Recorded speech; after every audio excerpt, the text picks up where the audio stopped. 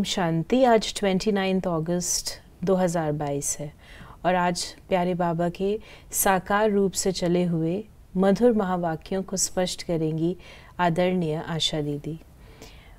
आज बाबा ने कहा, मीठे बच्चे, तुम्हें अपनी दैवी मीठी चलन से बाप का शो करना है।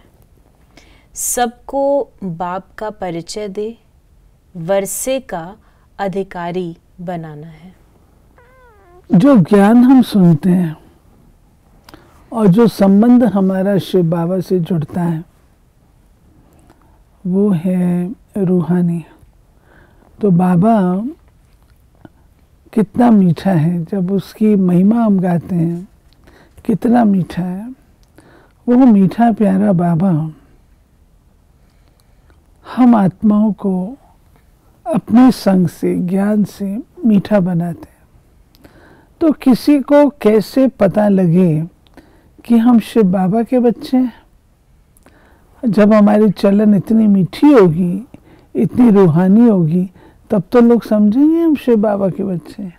तो बाबा ने वो बात कही। प्रश्न है, जो बच्चे देही अभिमानी हैं, उनकी निशानियाँ क्या होंगी? वो बहुत बहुत मीठे लवली होंगे। वो श्रीमत पर एक्यूरेट चलेंगे। वे कभी किसी काम के लिए बहाना नहीं बनाएँगे। सदा हांजी करेंगे कभी ना नहीं करेंगे। जबकि दे अभिमानी समझते हैं ये काम करने से मेरी इज़्ज़त चली जाएगी। हम्म।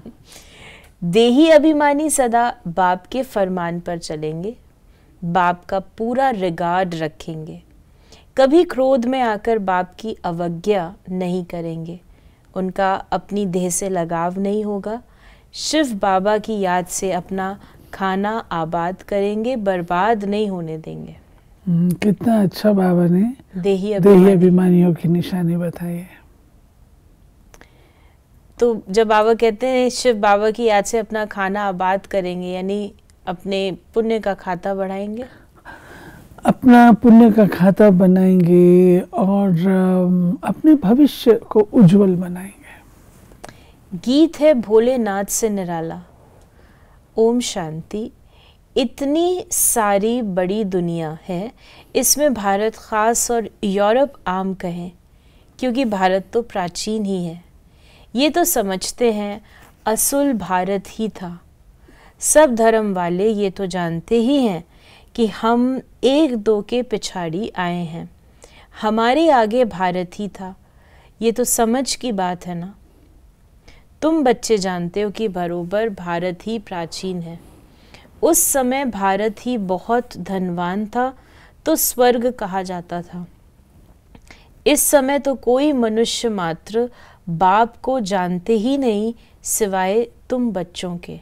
सो भी नंबरवार पुरुषार्थ अनुसार। फिर बाबा ने कहा कि अब तुम बच्चों को ही बाप का शो करना है। फादर तो अपना शो नहीं कर सकता। फादर तो बाहर नहीं जाएगा। तुम बच्चों को ही बाप का परिचय देना है। बाबा कहते हैं कि मैं कौन हूँ? मैंने अपना परिचय आप बच्चों को दिया है।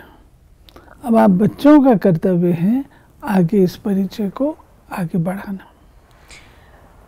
बाबा ने कहा कि ये भी समझते हैं कि बेहद का बाप स्वर्ग का रचयिता है। उनको अगर जानते तो आश्चर्य लगता है, हम भगवान के बच्चे दुख में आयरन एज में क्यों? ये प्रश्न भी तुमको पूछना है। पहला प्रश्न पूछना है, तुम्हारा परमपिता परमात्मा से क्या संबंध है? पूछने वाले को तो ज़रूर मालूम है और कोई भी पूछता नहीं क्योंकि मालूम नहीं है। तुम कोई से भी पूछ सकते हो। ये तो कॉमन रीति से सब कह देते हैं, ईश्वर सर्वव्यापी है। परंतु सर्वव्यापी का तो कोई अर्थ ही नहीं। बाबा कहते, पूछो भी परमात्मा कौन है, कहाँ है? तो सिंपल आंसर सर्वव्यापी है। तो सर्वव्यापी कहने से सारी स्टोरी खत्म हो जाती है। तुम्हारी समझ में आता है हम पारलौकिक मात पिता के बने हैं। ये ज्ञान की बातें हैं। अभी यहाँ चलती हैं, सतयुग में नहीं चलती। वहाँ तो न ज्ञान है, न अज्ञान है। ज्ञान देने वाला वहाँ कोई है नहीं।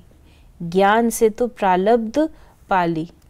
तुम अभी ज्ञान से प्रालब्ध पा रहे हो नंबरवार पुरुषार्थ अनुसार। फिर बाबा ने कहा कि देही अभिमानी के बारे में बाबा ने कहा कि देही ज्ञान से प्रालब्ध पाना माना ज्ञान से जब हम लोग ज्ञान युक्त कर्म करते हैं योग युक्त कर्म करते हैं उससे हमें श्रेष्ठ फल मिलते हैं उसको बाबा कहता है प्रालब्ध।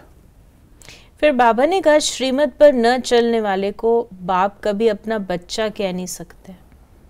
बाहर से भल बच्चे बच्चे कहते हैं, परंतु अंदर में समझते हैं कि ये ना फरमान बरदार हैं, ये क्या पद पाएँगे?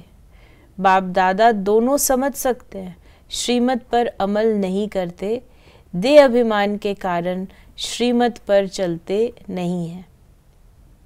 तो इसको हम क्या कहेंगे? बाबा ने कहा कि वो बच्चे नहीं कहला सकते भले बाबा बाहर से बच्चे बाबा ने कहा जो श्रीमत का पालन नहीं करते वो बच्चे नहीं हैं। देखिए हम माता पिता के हैं तो माता पिता का अगर कहना ही नहीं हम मानते हैं तो किस हिसाब से हम माता पिता के बच्चे हैं?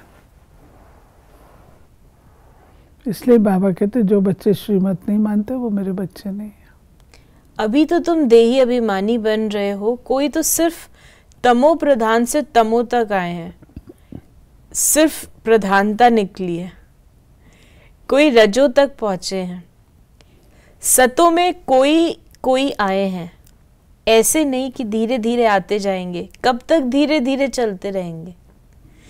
देही अभिमानी को कभी देह का अभिमान नहीं रहेगा कि मैं ये काम क्यों करूँ, इसमें मेरी इज़्ज़त जाती है। तो बाबा ने कहा धीरे धीरे नहीं होगा।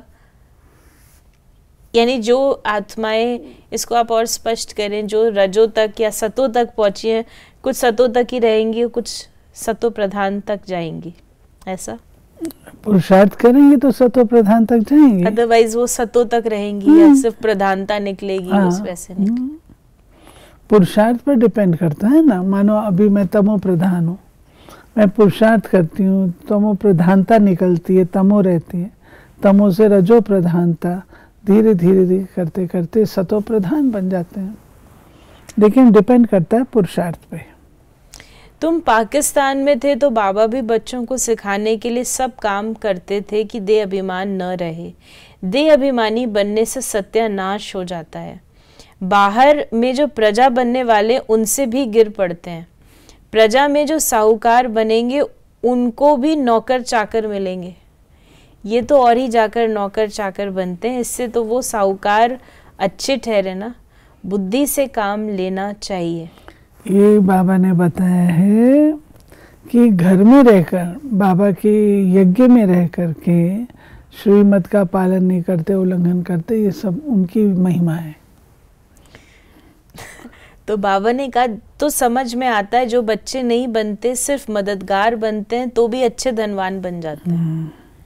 यानी जो समर्पित नहीं होते जो घर पे नहीं रह रहे और जो बाहर ले, से मदद कर रहे हैं वो धनवान बनेंगे। हम्म। और जो बच्चे बन के मदद नहीं करते तो वो नौकर चाकर बनेंगे। क्योंकि वो घर के अंदर तो रहते हैं ना। जो धनवान लोग हैं साहूकार वो घर के अंदर प्रवेश नहीं करेंगे। ये समर्पित हुए हैं नौकर चाकर हैं लेकिन घर में प्रवेश करेंगे। तो बाबा ने कहा कि उन्हों को नौकरी करने की दरकार नहीं रहती जो धनवान है। यहाँ तो नौकरी करनी पड़ती है पिछाड़ी को करके राज्य भाग्य मिलेगा सजा तो खानी पड़ती है दोनों को जो साहूकार बनेंगे या जो हम्म। नौकर बनेंगे। फिर बाबा ने कहा कि यहाँ तो बच्चों को श्रीमत पर चलना पड़े। नहीं तो माया बड़ा धोखा देने वाली है, झट दे अभिमान आ जाता है।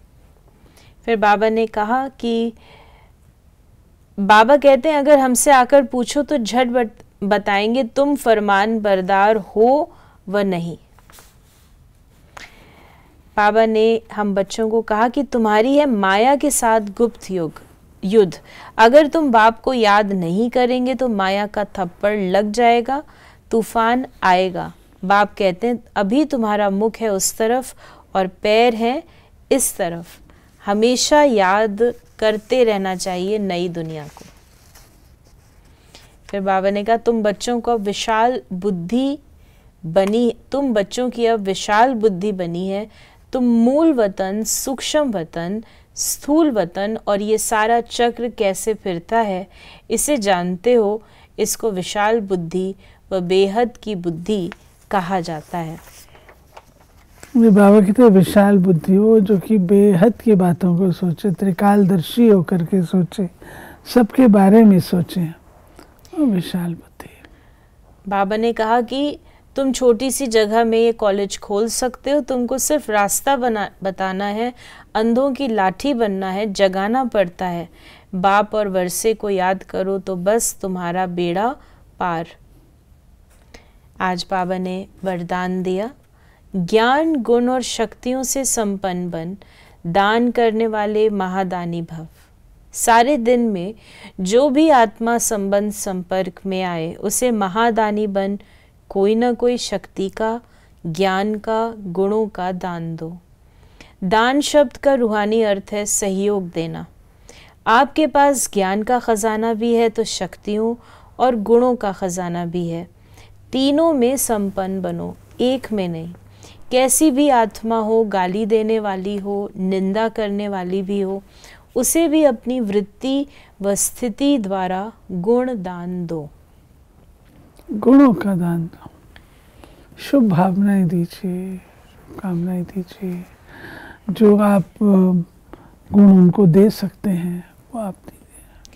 और स्लोगन है जो एक बाप से प्रभावित है उन पर किसी आत्मा का प्रभाव पड़ नहीं सकता।